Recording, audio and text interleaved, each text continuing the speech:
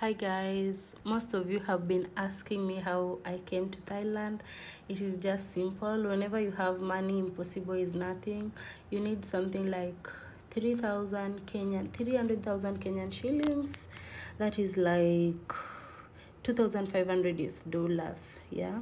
So that one you'll go to the embassy, and when you go to the embassy, you need your passport uh, two passport photo size should be in white background and then you need to have um, a registered business. Because you're coming as a tourist you need to show the consular that you have a business and you're coming here just to visit and you can sustain yourself here. You need to show the consular that you're only coming for a few days and then after that you should be back in your country.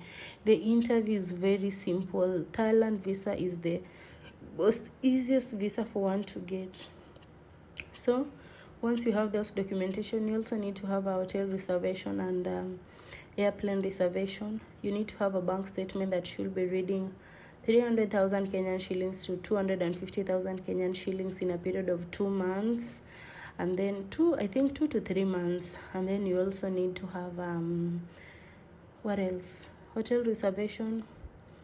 Yeah only that. Certificate of, of registration hotel reservation and airplane reservation return ticket confirm ticket yep.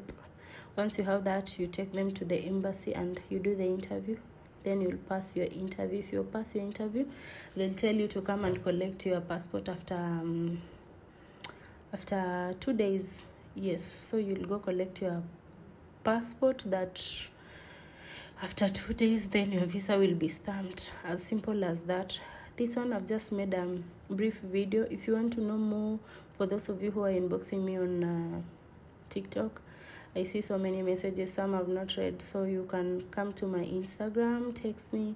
I'll guide you on how to do that. And then for those of you asking me about jobs i don't know i don't know any job here I only came to visit. Yeah, so that is it, guys.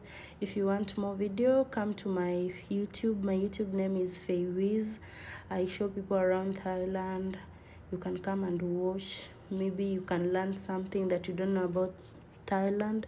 So don't worry if you need a Thailand visa as long as you have money. And then another thing before I forget, when you get to the airport, you need to have a thousand USD show money because they'll ask you how are you going to survive here? And then you'll tell them you're here for visit. They will ask you how much money you have?